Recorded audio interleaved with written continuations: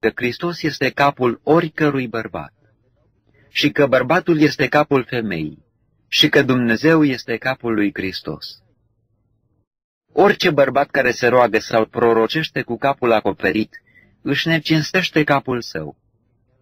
Din potrivă, orice femeie care se roagă sau prorocește cu capul dezvălit, își necinstește capul ei, pentru că este ca una care ar fi rasă.